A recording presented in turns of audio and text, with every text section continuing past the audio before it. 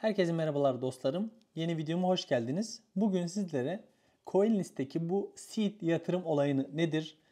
E, bu yatırımlara, bu projelere nasıl katılabiliriz ön satıştan? Hatta seed olarak nasıl katılabiliriz ve bu tohum ön satışı ne demek? Bunları anlatacağım. Hadi videomuza başlayalım.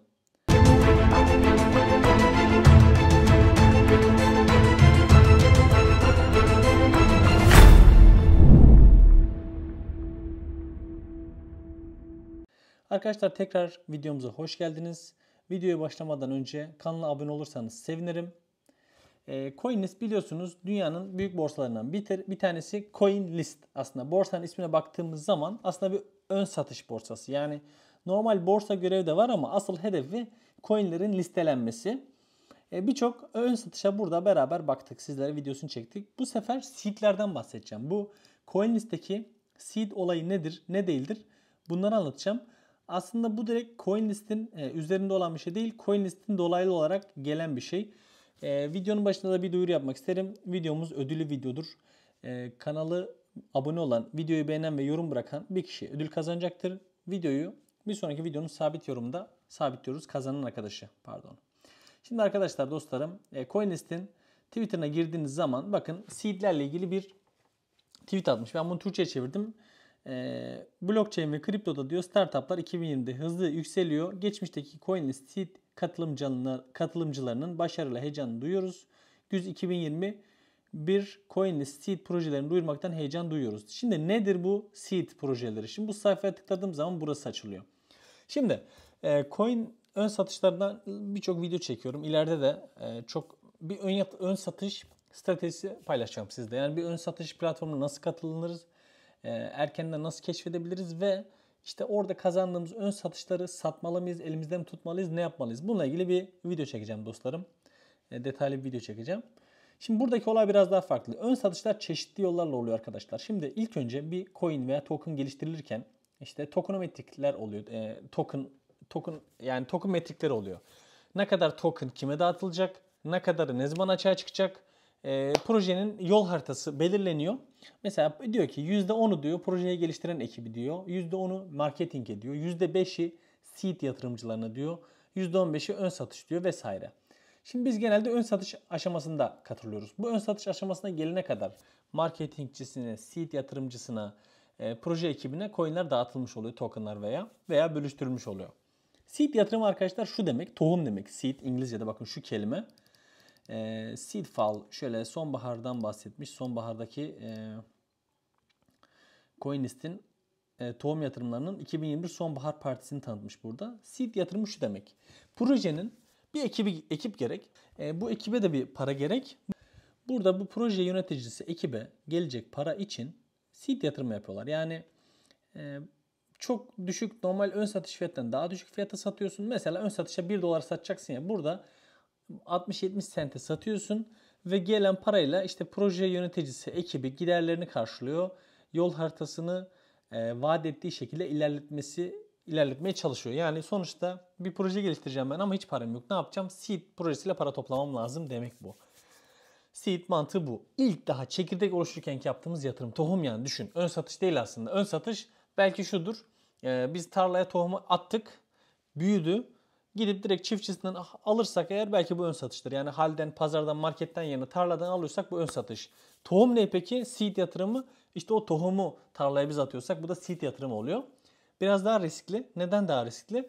Çünkü ön satış aşamasına gelmiş bir proje artık belli ki ekibini kurmuş, marketingini yapmış ve e, çeşitli borçlarda listelen, listelenmesi çok muhtemel. Fakat burada e, henüz ekiple ilgili yani bir yol haritası var, bir ekip belli ama daha çekirdek, daha riskli. Yani tabii ki siz de ne demek istediğimi anlıyorsunuz. Daha riskli bir yatırım. Peki bunun CoinList'te ne ilgisi var? Aslında biz şu an burada bu e, seed yatırımı CoinList üzerinden yapmayacağız. Tam aksine bu mesela Tick Money'den bahsedeceğiz ve bunun kendi sitesinde yapacağız. Peki farkı ne? Onu anlatalım. E, Coinlist niye bunu paylaşıyor daha doğrusu? Coinlist bu. Demiş ki ben sonbaharda 2021 sonbaharında yaklaşık olarak bakalım 8 proje seed yatırım yapacağım. Yani daha en başında ben yatırım yapacağım diyor. Bu, bu sayede mesela bu Tick Coinlist'e belli bir allocation yani tahsis hakkı veriyor. Bu da onların reklamını yapıyor. Yani karşılıklı win to win ilişkisi var burada. E, ve bu mantıkta Sonuçta CoinList'in yatırım yani mesela ben bir ön satışa katılacaksam şeye bakarım. Kimler yatırım yapmış derim.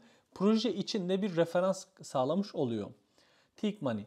Fakat her şeye rağmen şunu da unutmayın dostlarım. Ee, hiçbir şekilde bu video bir yatırım tavsiyesi içermez. Risk içer. Yani bu şeyler risklidir arkadaşlar. Bu, bu tarz yatırımlar videoda da bahsettiğim gibi riskli. Hani tutup benim 10 bin dolarım varsa tutup 2000 dolarını 1000 dolarını bu tarz bir projeye yatırmam.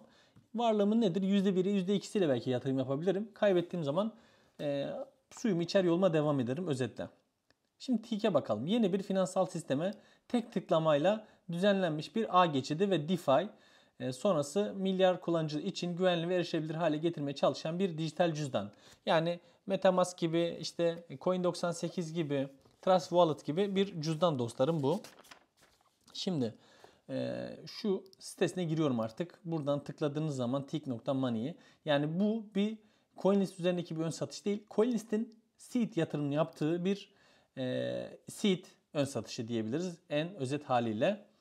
E, şunu arkadaşlar İngilizce orijinalini tutalım. Make your money tick. Yani bu DeFi e, destekli, DeFi temel olan, DeFi hedefi olan bir dijital para cüzdanı. Yani ben işte örnek veriyorum Tron'umu, BNB'mi, Ethereum'u, Bitcoin'imi üzerinde tutabileceğim, private key bana ait olabilecek bir e, dijital cüzdan. Burada DeFi dedik. DeFi ne demek arkadaşlar? Merkeziyetsiz finans. Yani günümüzdeki bankacılık sistemine e, kafa tutan, aslında ben kafa tutma e, kavramını doğru bulmuyorum.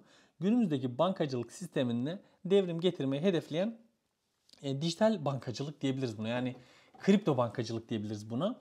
Burada da zaten bahsediyor. Türkçe'ye çevireceğim daha net anlaşılması için. Tasarruf hesabınıza rekabet edemeyeceği getiriler olan bir dijital cüzdan finansal bir devrimle e, devrime hazır binlerce kişiye katılın diyor. Şimdi şurada bloğuna baktığımız zaman ufak bir bakalım arkadaşlar.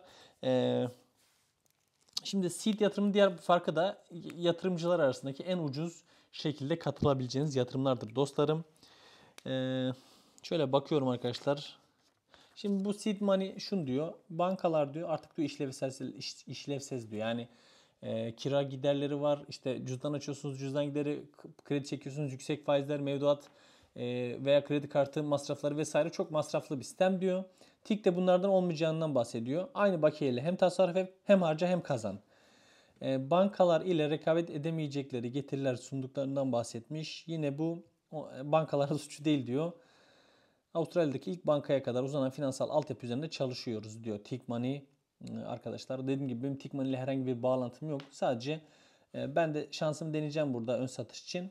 Bakacağız arkadaşlar. Şimdi nasıl bu seed'e katılırız? Asıl videonun önemli kısmına bakalım. Tıklıyoruz. Şimdi arkadaşlar burada bir mail adresi yazın diyor. Ben şimdi burada tamamen e, videoda göstereceğim için herhangi bir yeri blur, blurlamakla uğraşmamak adına direkt geçiyorum. Hangi ülkedensin diyor. Türkiye Türkiye'yi seçtim. Şimdi bunu olduğu gibi yazacağız. 4 e, W 5 evet kare 21 ünlem. Tamam. Ee, yani yatırımcı olmak kabul ediyor musun diyor. Tamam. Bu arada şunu artık İngilizce çevirebiliriz. Ee, ilk ismim diyelim ki e, rastgele bir şey yazalım arkadaşlar. Deneme yazayım buna da. E, soyad. Öylesin arkadaşlar. Dolduruyorum burayı. Burada opsiyon olarak telefon numaranızı soruyor. E, seed yatırımla şimdi şöyle düşünün. Seed yatırımda bu adamlar sizleri inceleyecekler veya çekiliş yapacaklar belli bir süre sonra. Ve diyecekler ki şu şu şu arkadaşlar seed yatırımına katılabilir. E, işte o zaman burada belki size mail ile ulaşamazlarsa telefonla ulaşmayı deneyebilirler. Eğer istiyorsanız burada telefon numaranızı verebilirsiniz. Tahmini yatırım tutarınız 50 bin dolardan az, 50-100 bin dolar arası vesaire birçok limit koymuş veya söylemek istemiyorum diyebilirsiniz. Ama bence 50 bin dolardan azsa oraya işaretleyip söylemenizde fayda var. Sonuçta yani çok gizli bir bilgi değil bu. E, yatırımınızı nasıl yapmak istersiniz? Flex mi yoksa kilitli bakiye mi? Ben flex tercih ederim arkadaşlar. İstediğim zaman parayı çekebileyim. Tahmini yatırımlarınızın net değeri ne kadar? 2,5 10 milyon, 10 milyon, 25 milyon vesaire. Arkadaşlar bunlar tabii çok yüksek rakamlar. Yani burada bu videoyu izleyenler de ben de dahil 2,5 milyon dolarımız yok arkadaşlar. Veya belki sizlerden vardır ama ben de yok. Ama yine de en düşük bu olduğu için e, bunu tercih ettim. E, dijital e, dijital varlıklarla daha önce yatırım yaptınız mı diyor. Evet diyoruz buna. Yani ben yaptım en azından. Şimdi ilginiz için teşekkür ederiz. Bizim e, takımımız sizle yakında temas kuracaktır diyor eğer kazanacaksanız. Bu süreci de e, bizim topluluklarımıza katılabilirsiniz diyor. Discord ve e, Telegram varmış. Arkadaşlar bu tarz şeylerde şansımız deneyeceğiz. Hani diğerlerinden farkı ne? En azından bir, e, bir ciddi bir bakiyeyle ön satışa işte o ön satış platformunun coin'ini tutmak zorunda değiliz. Ama burada da işte göreceğiz. Bakalım kimlere çıkacak. E, video altında çıkan arkadaşlar yazabilirler. Aklınıza takılan şeyleri sorabilirsiniz dostlarım. E, bu videomuz bu kadar. Bu benim Telegram kanalım. Burada Telegram kanalıma katılarak e, sohbet edebilirsiniz veya aklınıza takılanları sorabilirsiniz. Dostlarım Twitter'dan beni takip ederek güncel haberleri erişebilirsiniz. Bu da YouTube kanalım. E, sizler için içerik üretmeye çalışıyorum. Kanalımı beğenirseniz ve bizlere destek olursanız sevinirim. Bir başka videoda görüşmek dileğiyle. Hoşçakalın.